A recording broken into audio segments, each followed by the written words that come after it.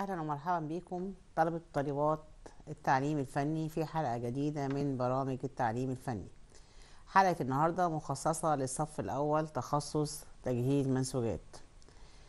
حلقتنا النهاردة لجدارات الصف الأول تخصص فني صباغة وطباعة وتجهيز منسوجات. إحنا خدنا الترم الأولاني واتكلمنا في وحدة التحضيرات اتكلمنا عن حرق الوبرة وحرق الوبرة واتكلمنا عن عملية الغلي وعملية إزالة مواد البوش. وعرفنا كل المخارج اللي إحنا موجودة في كل وحدة إيه وعرفنا كل حاجة فيها إيه وازاي ان إحنا بنشتغل عمليات إزالة مواد البوش وعمليات الغلي. الترم ده إن شاء الله الوحدات بتاعتنا هيبقى عندنا وحدة الغسيل والتجفيف والعصر وعندنا هنتكلم على التبييض والتحرير للأقمشة القطنية. هنبتدي أول حاجة بالغسيل. الغسيل فيه العديد من المخرجات. في كل وحدة بقى فيه عديد من المخرجات. لازم الطالب يجتاز المخرج ده عشان خاطر يخش على المخرج اللي بعديه. وفي نهاية كل وحدة بيبقى فيه امتحان شامل على الوحدة كلها كأكمل سواء معرفي أو ماشي فني ونبتدي إن إحنا. الطالب بيجتازه ي... لم يجتاز. طبعا إحنا كلنا شطار وكلنا استفدنا من الترم الأولاني بكل المقاييس بتاعته. آه هنتكلم على عملية الغسيل. عملية الغسيل دي من العمليات المهمة جدا في مجال بتاعنا. إحنا مجالنا طباعة وصباغة وتجهيز منسوجات. يعني أنا لازم أعمل عملية الغسيل في كل مرحلة من المراحل في كل مرحلة من المراحل. عملية الغسيل دي من أهم العمليات التحضيرية أو من أهم العمليات التي بتلحق كل عملية أول قماش خام. يعني قماشة ما بيجيلي من مصنع النسيج خام أنا ببتدي أتعامل مع القماش. أعمل له عملية غسيل عشان أشيل الشوائب. عشان ادخله على العملية يكون ما فيهوش شوائب ولا تراب. أو اعمل له عملية غسيل عشان اتخلص من القاذورات. ماشي. خلصنا الشوائب بعد عمليه النسيج ودخلنا القماش على العمليات التحضيرية الأولانية. قماش خام دخلناه وعملنا عليه معالجة بمواد كيماوية. يعني نقول مثال إحنا اشتغلنا في عملية إزالة مواد البوش باستخدام الإنزيمات أو بالأحماض أو بمواد المؤكسدة. ماشي. في بالتالي يخرج القماش بعد العملية بيبقى فيه بعض آثار المواد الكيماوية. يبقى أنا الغرض من عملية الغسيل إن أنا أتخلص من آثار المواد الكيماوية الموجودة بالقماش بعد العمليات التحضيرية. بعد ما خلصت العمليات التحضيرية بعمل بعد كل عملية لازم بيلحق بالماكينات ماكينات غسيل أو لازم أعمل عملية غسيل للقماش. لازم أعمل عملية غسيل للقماش. كده تمام؟ طيب خلاص خلصنا. عملنا عملنا عملية الغسيل بعد الصباغة بعد الطباع بعد التبييض بعد الغلي وبعد إزالة مواد البوش وبعد التحرير. برضو بعمل عملية الغسيل بعد الصباغة وبعد الطباعه بعد الطباعه عشان أشيل آثار المتخ... المتخنات اللي موجودة. بعد الصباغة عشان لو في صبغات ما لسه ما ارتبطتش بالخامة أو تفاعلت مع الخامة عشان خاطر أزود درجة الثبات بتاعة القماش ناحية الاحتكاك. يبقى عملية الغسيل من العمليات المهمة جدا جدا جدا. طبعا أنا بستخدم في عمليه الغسيل ماشي بستخدم بعض المواد. غسيل يبقى على طول أول ما تيجي في دماغي كلمة غسيل أفتكر على طول إن أنا لازم أستخدم صابون. آه بستخدم منظفات. بستخدم منظفات صناعية يا إما أنيونية أو غير أنيونية أو على حسب نوع الخامة اللي أنا هشتغل بيها فيها. هعمل لها عملية غسيل. بستخدم إيه تاني؟ بستخدم درجة حرارة يا إما بغسل في درجة الحرارة العادية أو بغسل في مية دافية أو عند الغليان. يعني العوامل اللي بتؤثر على عملية الغسيل لازم نتكلم بقى من الناحية العلمية. درجة الحرارة ونوع المادة المنظفة ونوع الخامة وطريقة الاستخدام اللي هي الوسيلة أو الماكينة اللي أنا بعمل عليها عملية الغسيل. يبقى أنا عندي أربع حاجات كده مهمين جدا لازم أحط في اعتباري وأنا بعمل عملية الغسيل. أنا بعمل عملية الغسيل ليه؟ بعمل عملية الغسيل قماش خام بعد ما جايلي من المصنع نسيج دي ليها- طريقة. بعمل عملية الغسيل للقماش بعد ما عملت عليه عمليات كيميائية أو عمليات تحضيرية دي ليها طريقة. بعمل عملية الغسيل بعد الصباغة والطباعة دي ليها طريقة. كل حاجة من دولت بيتوقف عليها. نوع الخامة يتوقف عليها. درجة الحرارة بيتوقف عليها. الزمن بيتوقف عليها. نوع مادة التنظي- الت- التنظيف اللي أنا بستخدمها أو المنظفات الصناعية اللي أنا بستخدمها. يبقى اما نيجي نبص مع بعضينا كده ونقول الغرض من عملية الغسيل. الغرض من عملية الغسيل هو التخلص من آثار المواد الكيماوية والمواد العالقة بالأقمشة وإزالة الألوان الزايدة. طبعا في حالة عملية الصباغة وعملية الطباعة أنا بشيل لو في ألوان زايدة ببتدي إن أنا أشيلها من على سطح القماش بعمل عملية الغسيل إمتى؟ خلال مراحل إيه؟ أعمل عملية الغسيل للصوف وهو خام وبعد كل عملية من العمليات زي ما قلنا بعد عملية إزالة مواد البوش وبعد عملية الغ- الغلي وأعمل عملية غسيل بعد التبييض واعمل غسيل بعد الصباغة وبعد الطباعة وبعد التجهيز النهائي وبعد التحرير. تتوقف عملية الغسيل على إيه بقى؟ على نوع المواد اللي موجودة.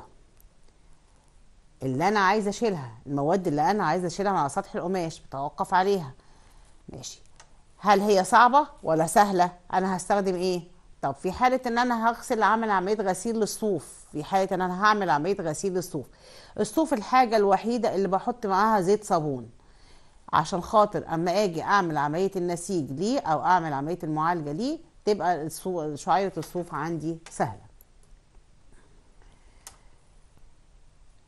الصوف يتطلب الأمر إلى إضافة بعض المواد الغريبة مثل الزيوت للصوف للمساعدة في عملية الغسل وذلك في. هذه الحالة يجب معرفة نوع الشوائب الموجود مطلوب إزالتها حتى يمكن تحديد طريقة الغسيل التي ستجرى في وسط حامضي أو قلوي أو متعادل مع مراعاة أن بعض المواد المضافة مثل الزيوت قابلة للتصبين أثناء والتي تساعد على عملية الغسيل إيه معنى الكلام ده يعني معنى الكلام ده إن الصوف الحالة الوحيدة مادة خامة الصوف هي الحالة الوحيدة اللي بحط معاها زيوت. الزيوت دي عشان تساعد لي على عملية الغسل بعد كده والنسيج. على عملية الغسل والنسيج. لأن أنا بغسل الصوف دهون وهو شعيرات كده قبل ما أدخله عملية الغسل. لأن إحنا عارفين طبعا خدنا في وحدة الخامات إن الصوف إحنا بناخده من على شعر الإبل شعر الحيوانات من من شعر وبر الحيوانات. ماشي؟ أو الحيوانات ده هي بتتغذى على إيه؟ على الحشائش ماشي؟ بتتغذى على ال- المواد العشبيه الحيوانات دي عايشة فين؟ عايشة في الصحراء عايشة في بيئة ترابية عايشة في بيئة رملية زي ما يكون البيئة اللي هي عايشة فيها. يعني الشعر اللي موجود على جسم الأغنام دهون شعر كله مليء بالقش مليء بالتراب مليء بالرمل مليء بالقاذورات. باجي أجيب شعيرات الصوف دهيا اعمل لها عملية تفتيح. بعد ما اجهزه اعمل له عملية تفتيح كده. وكده. وابتدي أفتح الشعيرات عن بعضها يبتدي الرملة تنزل لكن بيبقى لسه في شوائب عندي موجودة. أتخلص منها لازم أتخلص منها بعملية الغسيل. قبل ما أدخل القماش الخيوط ده ال... الوبرة دهيا أعمل لها عملية غزل لازم أعمل لها عملية غسيل جيد عشان أتخلص من الشوائب وأتخلص من الدهون وأتخلص من الرملة والتراب اللي موجودين على الوبر بتاع الأغنام. الوبر بتاع الأغنام. يعني الصوف الحاجة الوحيدة عندي الخامة الوحيدة اللي لازم أعمل لها عملية الغسيل قبل عملية الغسل. عملية الغسيل قبل عملية الغسل. بعمل لها عملية الغسيل إزاي؟ يا إما باستخدام المنظفات الصناعية يا إما باستخدام مستحلبات. المستحلبات دي اللي هي إيه؟ زي أو المذيبات العضوية أنا آسفة. المذيبات العضوية. زي زي, زي البنزين. لا عشان خاطر لو في دهون تبتدي إن هي تطلع الدهون بتاعتي وتبتدي إن هي تدوب وتتحول إلى صابون أو مواد سهلة الذوبان في المية لما أعمل عملية الغسيل. يبقى غسيل الصوف ده من العمليات المهمة جدا إن أنا أعمل عملية غسيل للصوف قبل ما أعمل عملية الغزل قبل ما أعمل عملية الغزل. طيب أنا لما بتخلص من الدهون اللي موجودة لازم أحط أثناء عملية الغسيل أحط زيت صابون زيت صابون. الزيوت ده هي زيوت سهلة بتعمل تبتدي تعملي استحلاب للمواد الدهنية اللي موجودة وتبتدي إن هي تنظف ال- الشعيرات ونبتدي إن إحنا نتخلص من التراب والقش والحاجات اللي موجودة على سطح الخامة. طيب الزيت ده هو أنت بتقول نحط زيت طب ما الزيت ده هيعمل بقع لا الزيت ده سهل الذوبان في المية. يعني لو عملت عملية شطف وغسيل بعد كده بيدوب في المية. نبص مع بعضينا. يتطلب الأمر إلى إضافة بعض المواد الغريبة مثل الزيوت للصوف للمساعدة في عملية الغسل. ولذلك في هذه الحالة يجب معرفة نوع الشوائب المطلوب إزالتها حتى يمكن تحديد طريقة الغسيل التي ستجرى في وسط حامضي أو قلوي مع مراعاة أن بعض المواد المضافة مثل الزيوت قابلة للتصبين وتساعد على عملية الغسيل. بعض المواد الشمعية الأخرى والزيوت المعدنية تعوق عملية الغسيل طبقا لأنواع الشوائب الموجود إزالتها والتركيب النسجي وبشيل آثار المتخنات بعد عملية الطباعة. ماشي؟ وبعد المع... وبعد المعاملات النهائية بعد ما بعمل عملية التبخير أعمل عملية التحميص. ماشي؟ ببتدي إن أنا أعمل أغسل الخامة كويس جدا لو أنا قماش بتاعي مطبوع. طب إيه اللي بي- بيعمل هنا؟ بيساعد على زهاء اللون. المتخن ده بيدي عتامة شوية في اللون أنا وبيدي خشونة للملمس أو بيدي صلابة للملمس أنا لما بعمل عملية الغسيل بتخلص من آثار المتخن الموجود دهون لو القماش مطبوع. تمام؟ تتم عملية الغسيل دهيا داخل ماكينات. الماكينات دهيا بتختلف أشكالها. عندي ماكينات بتشتغل على المفتوح القماش بتاعي يكون مفروض العرض يبقى العرض بتاعي ماشي القماش بتاعي مفروض العرض. أو الم- القماش بتاعي بيبقى مضموم العرض. أو القماش بتاعي بيبقى مضموم العرض. يبقى أنا عندي كده نوعين من الماكينات. ماكينات بتشتغل على القماش بتاعي وهو مفروض العرض وماكينات بتشتغل على القماش وهو مضموم العرض. طيب نيجي نقسم شوية الماكينات. ماكينات بتشتغل ذات مرور رأسي وماكينات بتشتغل ذات مرور أفقي. يعني إيه مرور رأسي ومرور أفقي؟ يعني القماش بتاعي بيبقى ماشي في اتجاه رأسي. النزول والطلوع بتاع القماش ده بيساعد على تغلب الكيميائية أو مادة المادة المنظفة داخل الخامة. طيب دي حاجة. حاجة تانية. مرور أفقي يعني القماش بتاعي ماشي في مرور أفقي ويبتدي ضخ المحلول عليه من فوق لتحت ماشي أو يتم غمر المحلول القماش بتاعي في التلت الأسفل من الماكينة على حسب نوع الماكينة وما نشوف مع بعضينا. تمام؟ طيب بيفرق الغسيل. عندي آه ممكن أغسل القماش الخيوط أغسله شعر زي الصوف ما بغسله شعر. بغسله على هيئة خيوط آخد الخيوط بتاعتي أغسلها. أو بغسل الأقمشة كقماش. يبقى الغسيل بيتم على جميع أنواع الخامات سواء بقى شعر أو خيوط أو أقمشة. وبتتم في كل المراحل وبتتم في كل المراحل وهو خام أو وهو عامله له عمليه تحضيريه بعد كل عملية من العمليات التحضيرية وبعد الصباغة والطباعة والتجهيز النهائي. تمام؟ المواد اللي بستخدمها في عملية التجهيز أنا بستخدم إيه؟ بستخدم صابون. إحنا قلنا أهم حاجة عندي بستخدم منظفات. طيب بستخدم صابون. لقينا إن وجود الصابون الصابون أساس تكوينه حمض الستريك حمض الأوليك تفاعل مع الصودا الكاويه يديني استرات آه، سترات الصوديوم الصوديوم اللي هي صابون اوليات الصوديوم اللي هي الصابون.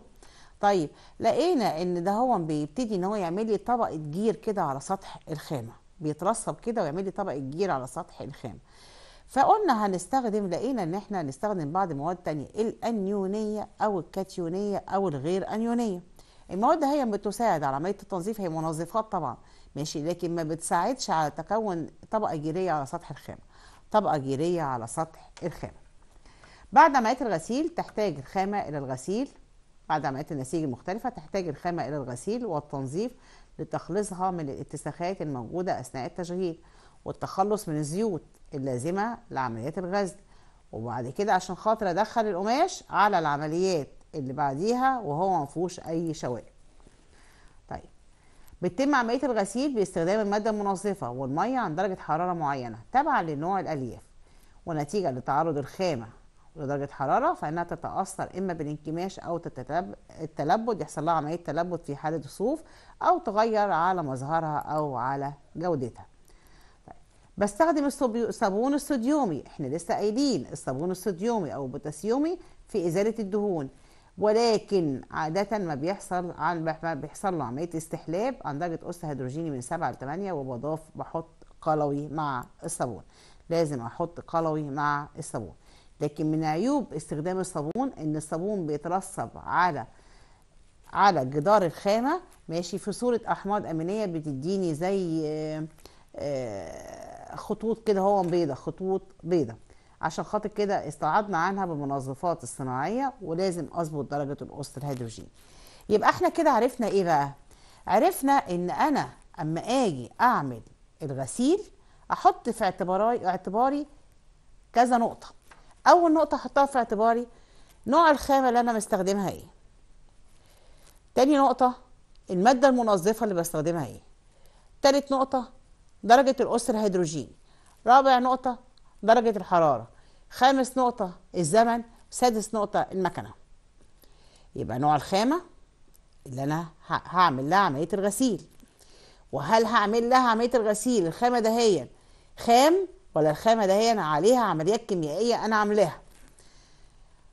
نوع المادة المنظفة المستخدمة درجة الأس الهيدروجين تظبط اللي هي وسط حامضي ولا وسط قلوي درجة الحرارة تظبط الزمن بتاعي والمكنة اللي أنا مستخدمها. المكنة اللي أنا بستخدمها. إحنا قلنا إن أهم حاجة عندي غسيل الصوف وهو خام. يعني بعد قص الصوف من على الحيوانات والإبل ماشي ببتدي آخد الشعيرات الصوف ده هي أعمل لها عملية غسيل. عملية غسيل الصوف دي بتتم بمرحلتين. يا إما باستخدام القلوي أو باستخدام المستحلبات ال- المذيبات يا إما باستخدام القلوي أو باستخدام المذيبات نبص مع بعضينا كده طريقة غسيل الصوف باستخدام القلويات. بحط 2% زيت صابون. زيت صابون إحنا قلنا في الص... في ال... في الصوف أنا بحط في الغسيل زيت صابون. أحط 2% كربونات صوديوم.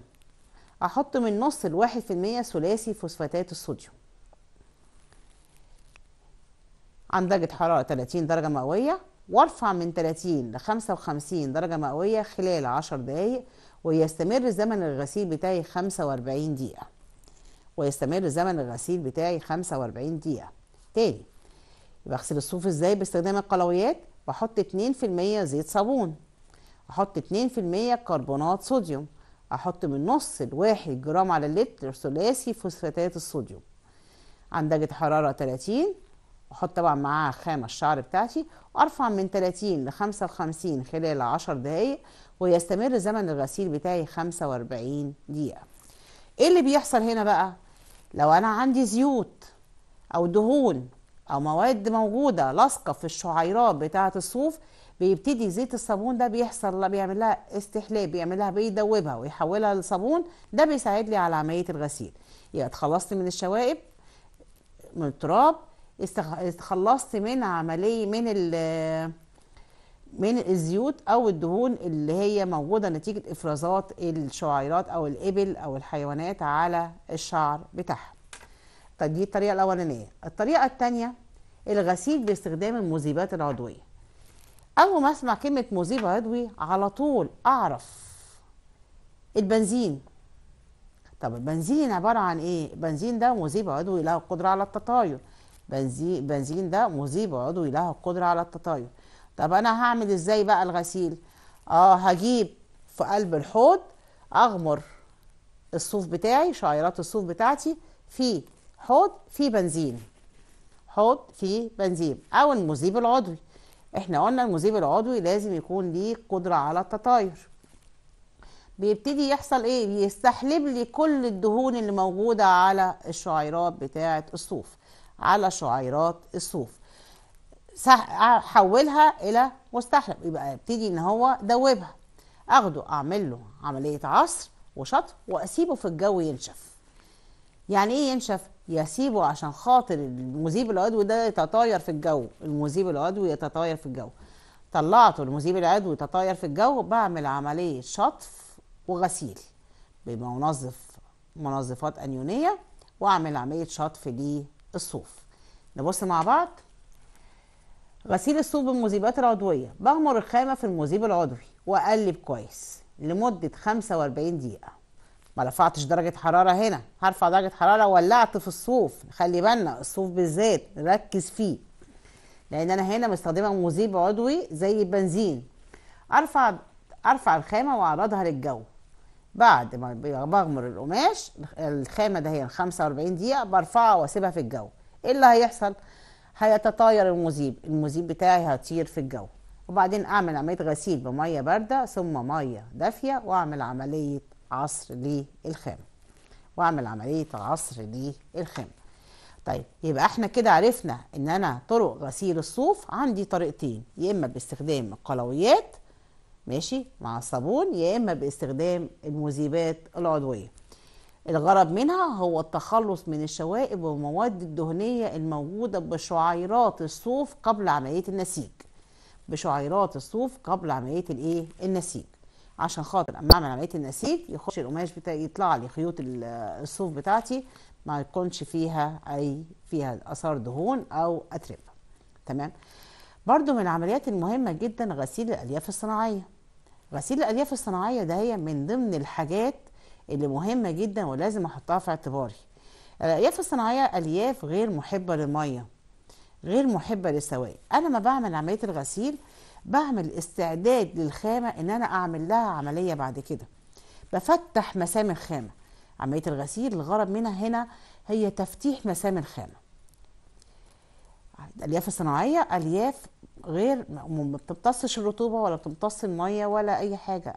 نسبة امتصاصها للمية والرطوبة بتكون تقول بنسبة معينة.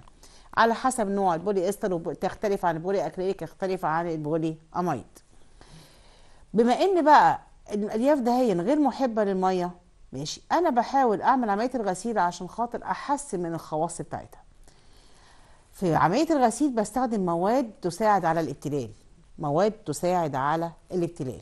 طيب نمسك حاجة حاجة ونقول غسيل الألياف الصناعية. نمسك أول حاجة عندي غسيل البولي أميد غسيل البولي أميد المحلول بتاعي بيتكون من واحد لاتنين جرام على اللتر صابون زي ما إحنا شايفين كده. واحد لاتنين جرام على اللتر صابون غير أنيوني.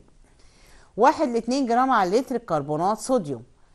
يبقى حطيت صابون غير أنيوني صابون نوع إيه؟ أنيوني ولا غير أنيوني؟ لا غير أنيوني.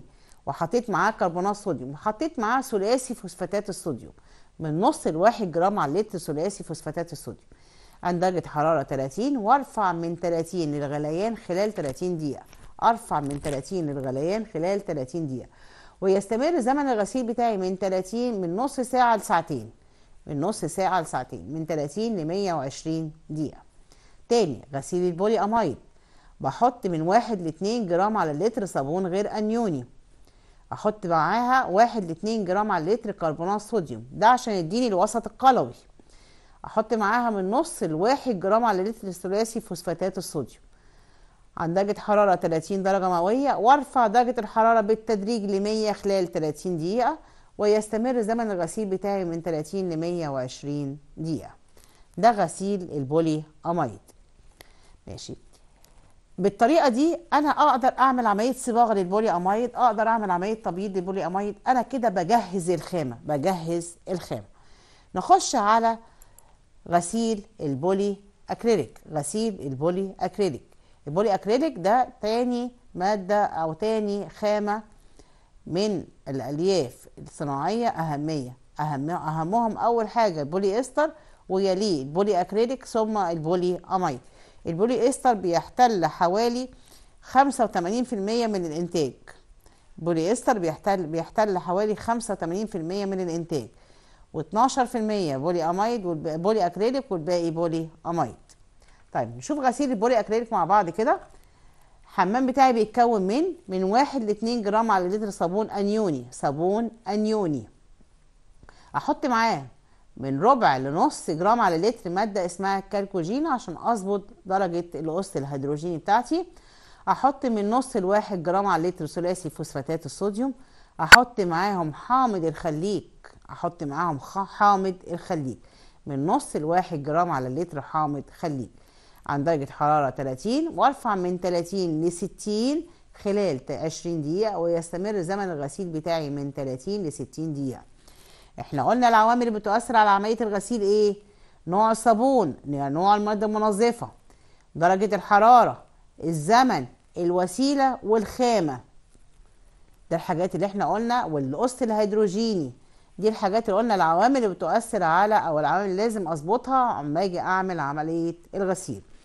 يبقى تكوين مع تكوين محلول الغسيل من 1 ل 2 جرام على اللتر صابون أنيوني معاه من ربع لنص جرام على اللتر كالكوجين معاه من نص لواحد جرام على اللتر ثلاثي فوسفاتات الصوديوم معاه من نص لواحد جرام على لتر حامض الخليك عند درجة حرارة 30 درجة مئوية وارفع درجة الحرارة بالتدريج ل 60 خلال 20 دقيقة ويستمر زمن الغسيل بتاعي من 30 ل 60 دقيقة. طيب نخش بقى على الحاجة السوبر في الألياف الصناعية اللي هي البوليستر بغسله إزاي؟ ده بياخد وقت طويل شوية معايا بقى في الغسيل بستخدم مواد أكتر شوية. البولي استر بحط إيه؟ بحط من واحد لاتنين جرام على لتر صابون أنيوني. أحط من واحد لاتنين جرام على لتر صابون أنيوني أو غير أنيوني. يعني صابون شحنة موجبة أو شحنة سالبة أو غير أنيوني مش من غير شحنة. أحط معاه من واحد لاتنين جرام على لتر ثلاثي فوسفاتات الصوديوم. أحط معاه من نص لواحد جرام على لتر مادة ناشرة. مادة ناشره الماده الناشره ده هي مادة مهمة عند استخدام أي عملية بعملها للبولي استر أحط معاها كربونات صوديوم 2 جرام على اللتر. أحط 2 ملي على اللتر صودا كاوية. ماشي. ده كله عشان أظبط درجة الأس الهيدروجيني. عند درجه حرارة 30 درجة مئوية وأرفع من 30 ل 50 أو 70 خلال 20 دقيقة ويستمر زمن الغسيل بتاعي 30 دقيقة. تاني. يبقى أنا بستخدم صابون غير أنيوني أو أنيوني. بستخدم معاه ثلاثي فوسفاتات الصوديوم. بستخدم معاه مادة ناشره بستخدم معاه كربونات صوديوم وصودا كاوية عشان أظبط الاسر الهيدروجيني عند درجه حرارة 30 وارفع من 30 ل 70 من 50 أو 70 خلال 20 دقيقة. ويستمر زمن الغسيل بتاعي 30 دقيقة. طيب بعد ما بخلص كده أروح عامله شطف الميه إحنا خدنا في الترم الاولاني الحساب الكمي خدنا الحساب الكمي. إحنا بنحسب الكميات بتاعة الصابون دي إزاي. القانون بيقول لي وزن المادة الكيميائية بيساوي وزن القماش في نسبة التركيز على 100 طيب هو لو جه مديني 2% صابون. كده أعرف الكميات بتاعتي. يبقى القانون بتاعي اللي أنا بستخدمه بيقول لي وزن مادة الغسيل أو مادة موظفه بيساوي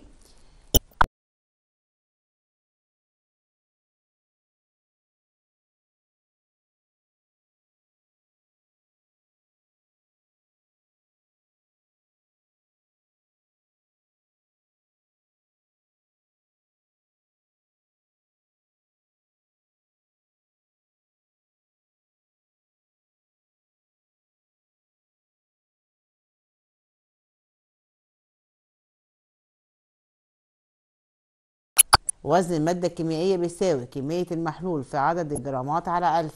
طيب كمية المحلول دي بجيبها إزاي؟ هو بيديني وبيقول لي أنا عايز أعمل عملية الغسيل. ده مثالي أعمل عملية الغسيل لكمية من القماش ليها وزن معين. ماشي بقى استخدم صودا كاوية وبستخدم صابون وبستخدم منظفة وبستخدم كذا وكذا. ماشي؟ وبيديني نسبة القاعدة بتاعتي مثلا واحد إلى عشرين. يعني إيه واحد إلى عشرين؟ يعني معناه واحد كيلو جرام قماش محطوط في عشرين لتر محلول. محطوط في عشرين لتر محلول. بعمل الحسابات بتاعتي وابتدي إن أنا أحضر المحلول بتاعي. خلي في اعتبارنا حاجة مهمة إن الحاجات ده هي من المهم جدا لما أجي أقول لك إزاي إن أنت في في الامتحان أقول لك إزاي تحضر تعمل لي عملية الغسيل للصوف. أول حاجة أنت هتبتدي إن أنت تحضر مكان العمل بتاعك. تحضر مكان العمل.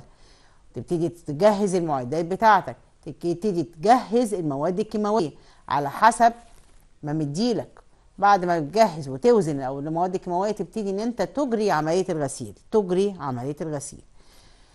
شفت الحاجات دي كلها اتعملت مظبوط بقيت جدير. في خلل في النص بتبتدي إن أنت تعيدها مرة تانية بعديها بأسبوع مرة تانية بعديها بأسبوع. ونلاحظ إن إحنا بنحاول نذاكر كويس ونهتم قوي قوي قوي لأن نظام الجدارات نظام لصالح الطالب مليون في المية. لصالح الطالب مليون في المية. أنت بتتعلم الشغل كويس قوي بتخرج مؤهل لسوق العمل بتخرج مؤهل لسوق العمل.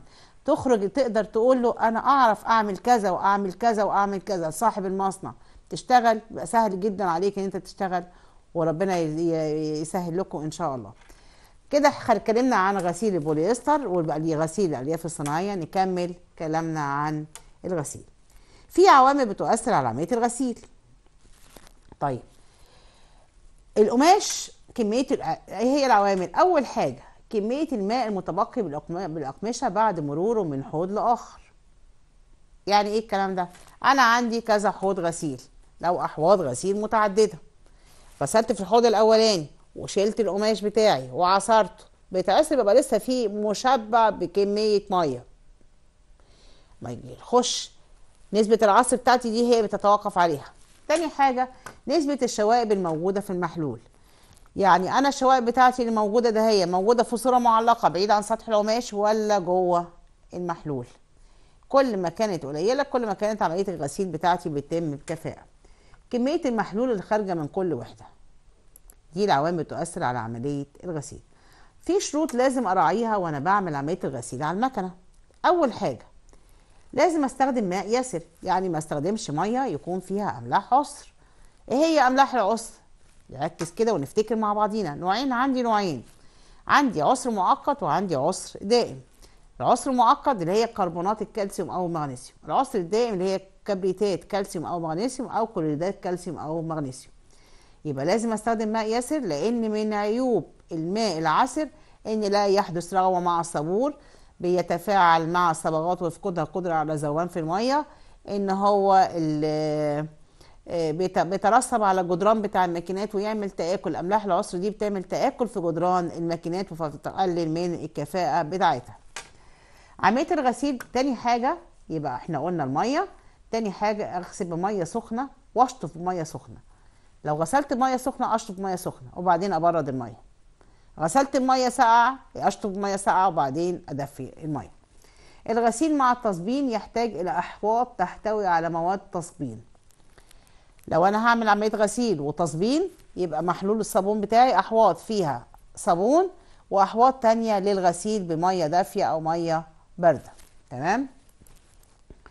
إيه تاني؟ الشطف بالماء الساخن المتكرر ثم الماء البارد المتكرر.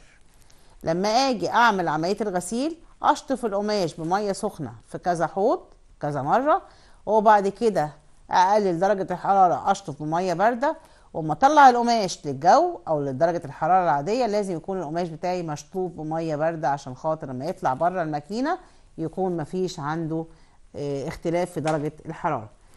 التأكد من مرور القماش مفروض العرض داخل المكنة. لو القماش بتاعي أنا بستخدم ماكينات مفتوحة العرض يعني عرض القماش بتاعي يبقى المفروض أتأكد إن طول عملية الغسيل القماش بتاعي مفروض العرض ومفيش كسرات أو تنايات موجودة بالقماش. أثبت درجة الحرارة أثناء العملية. أثبت درجة الحرارة وأقلل الشد وأظبط سرعة المكنة. أثبت أثبت درجة الحرارة واظبط الشد واظبط سرعة المكنة. يبقى إحنا كده نخش بقى على النقطة الثانية اللي هي ماكينات الغسيل. هو أنا هعمل غسيل كده على إيدي؟ لا أنا في عندي نوع أنواع من ماكينات الغسيل. عندي ماكينات على هيئة حبل وعندي ماكينات للغسيل مفروض العرض ماكينات على هيئة حبل وماكينات للغسيل على هيئة مفروض العرض. نتكلم أول حاجة ماكينات الغسيل على هيئة حبل. بتشمل نوعين ذات المرور الرأسي وذات المرور الأفقي. قلنا مرور رأسي يعني القماش بتاعي ماشي في اتجاه رأسي. مرور أفقي يعني القماش بتاعي ماشي في اتجاه أفقي. ماشي في اتجاه أفقي. يبقى عرفنا في الاتنين. رأسي يعني عمودي. أفقي يعني موازي للأرض. أول حاجة نتكلم عن ماكينات الغسيل ذات المرور الرأسي أول مكنة عندي ماكينة الغسيل طراز كلابو. المكنة دي بتستخدم للغسيل في خطوط التبييض المستمرة. ويتوقف نجاح عملية التبييض على عملية الغسيل. بتستخدم بعد إزالة النشا وبعد الغلي يعني ممكن أستخدمها بعد عملية إزالة مواد البوش وبعد عملية الغلية وهي تشبه الغسيل اليدوي بالنقع التقليدي. يعني إيه بقى الكلام ده؟ يعني المكنة دهيا أنا بيخش القماش فيها زي ما يكون بيتنقع ويطلع يتعصر يتنقع ويطلع يتعصر يتنقع القماش ويطلع يتعصر. اولا ما بتأثرليش على التركيب النسجي للخامة ما بتأثرش على المطبوعات بتاعة الخامة ما بتأثرش على ما بيحصلش شد على القماش ولا أي حاجة خالص. دي بتستخدم للأقمشة التي يخشى عليها من الشد زي الجرسيه والتريكو والأقمشة اللي الذات اللي بتديني ذات مطاطية عالية زي القماشة الليكرا القماش الليكرا ماشي؟ طريقة التشغيل بتاعتي بنقع القماش في الأقمشة في محلول الغسيل وأرفع القماش لأعلى لإجراء عملية العصر ويتم تجميع المحلول العصر وصرفه خارج الماكينة وتكرر العملية. طب شكل المكنة عامل إزاي؟ أهي المكنة القماش بتاعي بيخش مضموم العرض. طيب قبل ما نتكلم على المكنة نبص إزاي بنضم عرض القماش. نبص إزاي بنضم عرض القماش. القماش بتاعي بيجي أدي القماش بتاعي أهو مفروض العرض. أدي القماش بتاعي مفروض العرض. عرض القماش أهو وعرض أهو. ده كده عرض القماش البرسل والبرسل باجي أعمل إيه؟ بعمل حياكة أطراف الاسواب مع بعضها. عشان خاطر اوصل لطول محدد. الطول اللي أنا عايزه على احياك الاسواب أجيب طرف الطوب الاولاني مع طرف الطوب التاني. ادي الطوب الاولاني مع الطوب التاني وابتدي اخيطهم مع بعض بغرزة السلسلة. ماشي؟ كده أنا وصلت لإيه؟ للطول اللي أنا عايزاه وصلت للطول اللي أنا عايزه. ادي الطوب الاولاني اوله وادي اخره. الطوب التاني اوله وادي اخره. خيطت الطرف ده مع الطرف ده. بعد ما خيطتهم باخدهم أعمل أتني أجيب البورسل على البورسل أجيب البورسل على البورسل بقى القماش بتاعي دلوقتي بقى على هيئة إيه؟ حبل. بقى القماش بتاعي كده بقى على هيئة حبل. مضموم العرض. كده على هيئة حبل. طيب بعد كده بروح جايب إيه؟ جايب أول الطرف ده مع الطرف ده. أجيب طرف ده مع الطرف ده.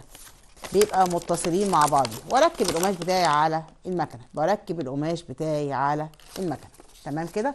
يبقى ركبت القماش بتاعي وهو مضموم العرض. ماشي؟ بعد ما ركبت القماش بتاعي وهو مضموم العرض بيحصل إيه؟ بيتدلى. ركبت القماش أهو على المكنة. دي اسطوانات عصر. اسطوانات. عصر. ودي اسطوانات عصر. وهنا دي اسطوانات مساعدة وده هيكل الماكينة المصنوع من الصلب الغير مقابل للصدى وده محلول الغسيل اللي هو عبارة عن صابون ومادة قلوية واظبط درجة الأسرة الهيدروجيني واظبط درجة الحرارة. ماشي؟ القماش بتاعي بيخش لي ماشي؟ القماش بتاعي بيخش لي أهو ويتدلى داخل الماكينة. بيحصل إيه بقى؟ القماش بتاعي بيخش جوه بيتنقع وأطلع القماش. باسطوانات العصر اللي هي ارفع دي كده هون لفوق تقوم اسطوانات العصر ده هي انت عصرالي القماش يخرج لي في القمع ده هو المحلول الزيادة. المحلول الزيادة يحصل يخرج لي في القمع ده. وتتكرر العملية لغاية ما ما اخلص عملية الغسيل. طيب مميزات المكنة دي إيه؟ عدم تعرض الأقمشة لأي شد. طبعا القماش مش مشدود القماش بتاعي مرتخي جوه المكنة القماش بتاعي مرتخي جوه المكنة. دي أول حاجة. تاني حاجة زيادة مدة بقاء. الأقمشة في محلول الغسيل بيديني نتاج أفضل. طبعا القماش بتاعي وهو مغمور جوه حوض الغسيل ماشي بيحصل تغلغل ما بين المواد المنظفة المواد المنظفة والصابون والحاجات دهيا جوه الخامة درجه أعلى. طيب.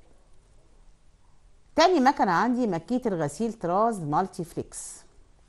من المكنة دي من إنتاج شركة كلين فيفا. بتعتمد نظرية التشغيل بتاعتي إن أنا بدي القماش بتاعي الزمن الكافي عشان تتغلغل وتتفاعل يحصل التغلغل والتفاعل لمحلول الصابون مع الخامة. تتميز المكنة دي باحتوائها على ست سنارات. ست سنارات أو ست وحدات على شكل حرف J على شكل حرف J لكل سنار حبل لوحده لكل حرف J ده حبل لوحده. يعني أنا بشغل كده ست أطوال مع بعض ست أطوال مع بعض. المكنة دي بتتعرض فيها القماش للرش وليس للغمر. أنا برش عليها محلول الغسيل وما بغمرش الغسيل في المحلول. ما يبقاش غمر بيبقى رش للمحلول رش للمحلول. رش المحلول. المكنه دهين بتعتمد قلنا زي ما قلنا على رش المحلول وليس الغمر. الرش بتبقى فيه رشاشات من جوه بترش المحلول على الخامة على القماش. ماشي؟ ويطلع القماش بتاعي يتعصب وتتكرر العملية. طيب ده شكل إحنا قلنا عبارة عن خزانات أو على أحو... مكنة بتاعتي عبارة عن ست من خمسة لست سنارات على شكل حرف جي ده الشكل بتاعها هون. ماشي؟ آدي السنار الأولاني والتاني. كل سنار من دولت بقى ليه حبل لوحده بيخش القماش بتاعي يتعصر ويتغسل جواه وبيتعرض للرش المحلول. طيب. ميزانية المكنة ده هي المالتي فيليكس مميزاتها إيه؟ الاقتصاد في استهلاك محاليل المعالجة. ماشي؟ يعني نسبة استهلاك محاليل المعالجة بتاعتي بتبقى قليلة. انخفاض في معدل استهلاك المية وانخفاض في معدل استهلاك البخار. يعني اقتصادية في التشغيل. ماشي؟ بقلل في استهلاك المواد اللي أنا بستخدمها مواد كيماويه وبقلل في استخدام المية وبقلل في استهلاك البخار. ماشي؟ يعني ليها مميزات عالية اقتصادية في التشغيل. تاني نوع عندي الماكينات ماكينات الغسيل متعددة المراحل. تتكون المكنة دهيا من مجموعة من الغرف يتراوح عددها من أربعة أو خمسة أو ست غرف على حسب حجم الماكينة. على حسب حجم الماكينة. طريقة التشغيل بتاعتي القماش بتاعي بيضخ بيمر خلال الغرف دهيا على اسطوانات علوية وسفلية. القماش بتاعي بيخش جوه المكنة على اسطوانات علوية وسفلية عندي كام غرفة؟ أربعة أو خمسة أو ستة على حسب حجم الماكينة اللي هي موجودة في المصنع أو الملحقة بالعملية. بيتغمر القماش ويطلع يتغسل يتغمر ويبدأ يتغسل وهكذا وتكرر العملية. تعتمد على إيه؟ المرور الرأسي للمحلول. يعني المحلول بتاعي ماشي في اتجاه رأسي. العوامل تساعد على زيادة كفاءة العملية إيه؟ المرور العكسي للمحلول، يعني إيه كلمة مرور عكسي للمحلول؟ يعني القماش ماشي في اتجاه والمحلول في اتجاه تاني، القماش والمحلول عكس بعض، القماش والمحلول عكس بعض. تاني حاجة الغمر والرفع المتكرر، أنا لما بغمر القماش وأرفعه بساعد على تغلغل المحلول جوه الخامة، بساعد على تغلغل المحلول جوه الخامة. تالت حاجة التحكم في شد الواقع على الحبل. طب أتحكم في شد الواقع على إيه؟ إن أنا أغير سرعات الضرافيل العلوية المنقادة وأسطوانات العصر أغير في السرعة بتاعتي. وقيادة الضرفيل السفلي سرعة المكنة دهيا حوالي 250 متر على الدقيقة. الماكينه اللي بعد كده ماكينة غسيل الأقمشة طراز نياجرا طراز نياجرا. المكنة دي من الغسيل بتستخدم لإزالة المتخنات يستخدم النوع ده من الغسيل الماكينات في وحدة أو في المطابع أو في الملحقة بعمليات الطباعة. لإزالة الغسيل الأقمشة المطبوعة ولإزالة المتخن وصبغات المواد الكيماوية المساعدة والزائدة على سطح القماش. بتعتمد نظرية التشغيل على حركة القماش غير مشدود وغمره في حوض الغمر وحركة المحلول أيضا زيها زي مكنة الهازبل اللي إحنا هنتكلم عليها فيما بعد. هي يعتبر شكل الهازبل شوية. المكنة بتاعتي دهيا ادي هيكل الماكينة ماشي؟ ده طراز نياجرا. ده مدخل القماش بتاعي ده مدخل الماكينة ماشي؟ القماش بتاعي بيخش وسطة الاسطوانات المساعدة على دي زي شبه شبيهة للكامه البيضاويه بس مش كامه بيضاويه لا ده فيها بعض النتوءات ماشي؟ الغير مدببة الغير مدببة عشان تساعد على استرخاء الخامة. عشان القماش بتاعي ميبقاش مشدود. والباقي بيتدلى جوه محلول الغسيل وعندي اسطوانات عصر بعد كده ويخرج القماش معصور الترمبات ده عشان تدخلي المحلول من أسفل لأعلى يعني مرور أضخ المحلول وأظبط درجة الحرارة بتاعته بتاعة الغسيل. طيب مميزات المكنة دي إيه؟ انخفاض معدل استهلاك المية والبخار ومحاليل. بقلل في استهلاك المية بقلل في استهلاك البخار. ماشي؟ الكميات اللي أنا بستخدمها نسبتها قليلة انخفاض في التكاليف زيادة في كفاءة عملية في كفاءة التشغيل. ماكينات الغسيل ذات المرور الأفقي يبقى إحنا اتكلمنا على ماكينات الغسيل ذات المرور الرأسي. ذات المرور الرأسي يعني القماش ماشي بالطول ماشي بالطول. بيتعرض يا إما بيتعرض للغمر في المحلول يا إما بيتعرض للرش في الماكينات. يا إما يتعرض للرش في الماكينات. وعرفنا إيه الفرق ما بين الغمر في المحلول؟ غمر يعني غمر ونقع وبعدين بعمل عملية عصر. واغمر وارفع القماش واعصره ده بيساعد على تغلغل السوائل بسرعة جوه المحلول واتخلص من الشوائب الموجودة جوه القماش. ماكينات ذات المرور الأفقي أهم مكنة عندي اسمها ماكينة الهاسبل. مكنة الهاسبل دي من الماكينات المهمة جدا جدا جدا. مكنة الهاسبل دي بستخدمها في الغسيل بستخدمها في عملية الغلي بستخدمها في عملية التبييض بستخدمها في عملية الصباغة يعني بقول عليها سوبر ده كل للقماش مضموم العرض للقماش مضموم العرض والذي يخشى عليه من الشد. مكنة الهاسبل من من الماكينات السوبر من ماكينات السوبر اللي أنا بستخدمها في عملية في عملية في مصانع صباغه وطباعه وتجهيز المنسوجات قلنا تاني بستخدمها في إزالة ممكن أستخدمها في إزالة مواد البوش. أستخدمها في عملية الغلي. بستخدمها في عملية التبييض بستخدمها في عملية الغسيل. بستخدمها في عملية الصباغة. مكنة بتستخدم متعددة الاستخدامات. ليها استخدامات متعددة. المكنة دهيا بكل بساطة بتتكون من كامة بيضاوية على شكل بيضاوي على شكل بيضاوي. القماش بيركب عليها وبقية القماش بيتدلى داخل الماكينة بيتدلى داخل الماكينة. ماشي؟ القماش بتاعي مبقاش مشدود. ليه؟ لأن أنا مجرد القماش بتاعي كده هو آه بيتعلق على آه بيمر على الفرادة وباقي القماش بيتدلى داخل أو الوحدة ويتدلى القماش بتاعي داخل مكنة الغسيل أو محلول سواء بقى غسيل صباغة أي ما يكون نوع الغسيل إيه؟ نوع المكنة أو الحاجة إيه؟ المكنة دي فيها أنابيب بخار مباشر وغير مباشر عشان ترفع لي درجة حرارة القماش درجة حرارة المحلول. وبيتم في عندي فتحه تصريف عشان أصرف المحلول. وعندي ترومبة لضخ المحلول لحركة المحلول. وعندي حاجز مثقب إن هو يبتدي يدخل المحلول يتدفق مثقب يعني يتدفق المحلول بتاعه من الجنب. حاجز مثقب كده المحلول بتاعي بيخش من الجنب. طيب المكنة دي بتستخدم نبص مع بعض. تستخدم هذه الماكينة في عملية الغسيل الأقمشة على هيئة حبل مضموم العرض. كما تستخدم ماكينة الهصبر أيضا في عملية التبييض للأقمشة القطنية الخفيفة والأقمشة الحريريه والنايلون. وتستخدم عملية في عمليات الغسيل للأقمشة الحساسة مثل أقمشة التريكو والأقمشة التي يخشى عليها من الحبل. وتكون على هيئة حبل ويحاك أطراف الأسواب زي ما إحنا قلنا مع بعضينا. إحنا قلنا بنحصل إيه؟ ان إحنا بنجيب طرف الطوب الاولاني مع طرف الطوب التاني نخيطهم مع بعض. وبعد كده نضم ضم عرض القماش وبعدين نجيب أول طرف مع آخر طرف ونعملهم على هيئة حبل.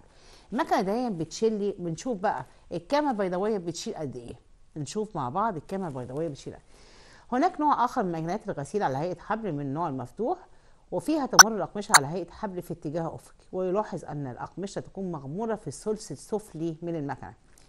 في الثلث في التلت اللي تحت من الماكينة. أما الجزء العلوي فيستعمل الشطف بواسطة رشاشات مية باردة ويلاحظ أن الماكينة بها تغذية مستمرة عن طريق فتحات الرشاشات ولا يزال الماء ويزال لو في عندي مية زيادة ببتدي إن أنا أتخلص منها. وافرغ المحلول مكنة كل شوية واغير المحلول بتاعي. آدي مكنة الهاسبل المكنة دي ليها احترامها. بتستخدم لكل حاجة. هيكل الماكينة المصنوع من القابل من الصلب الغير قابل للصدى عندي كامة بيضاوية. الكامة دي لازم تكون بشكل بيضاوي بيتركب عليها القماش. وعندي أسطوانة لتحديد أو قضيب لتحديد سير القماش. وعندي حاجز مثقب حاجز مثقب وعندي هنا انابيب بخار مباشر وغير مباشر عشان ترفع لي درجه الحرارة بتاعة المحلول. وعندي فتحة تصريف لتصريف المحلول. وعندي ده طبعا المحلول سواء بقى محلول صبغة أو محلول غسيل أو محلول تبييض زي ما أكون هستخدم المكنة في إيه. بيتركب القماش زي ما قلنا بنحاك أطراف الاسواب مع بعضها وأركب القماش بتاعي على الكامه البيضاوية وعلى الأسطوانة الفاردة أو القضيب دهون والباقي بيتدلى داخل المكنة. يبقى أنا كده حددت اتجاه مسار القماش. بقية القماش بتاعي بيتدلى داخل الماكينه بترتفع درجة حرارة المحلول عن طريق مواسير البخار المباشر. ويتم ضخ المحلول ماشي من خلال الحاجز المثقب بيتم ضخه من خلال الحاجز المثقب ماشي. وبعد ما بخلص عملية الغسيل ماشي بفتح فتحة التصريف وأصرف المحلول بتاعي. تركب المكنة من حوض كبير سعته 500 إلى 4000 لتر للوحدة الواحدة. محيط الهي... الحوض الهيكل الخارجي للمكنة كما يثبت أعلاه أسطوانة عكامة بيضاوية منتظمة تختلف أشكالها تلك على حسب حجم الحوض. يعني الكامة دهية بيختلف حجمها أو قطرها على حسب حجم الحوض بتاعي صغير أو كبير. ماشي؟ أزود المكنة بقى المكنة مزودة بانابيب بخار مفتوحة وتانية مغلقه عشان ترفع لي درجه حرارة المحلول. وغطاء لمنع تسرب البخار وفقد درجة الحرارة. وعندي حاجز مثقب بعرض الماكينة في منطقة خلط المحاليل. بيصل طول كل حبل في المكنة من 50 ل 100 متر. يعني أنا المكنة بتاعتي دهيا بحط عليها من 50 ل 100 متر. ماشي.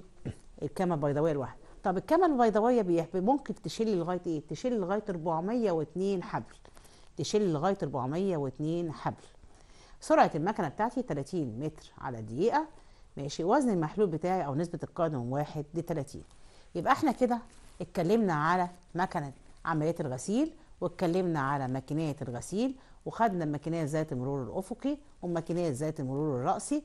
وإن شاء الله يا رب نكون استفدنا بالحلقة بتاعتنا وإن شاء الله نكمل عملية الغسيل والحلقة الجاية وعملية التجفيف. والسلام عليكم ورحمة الله وبركاته.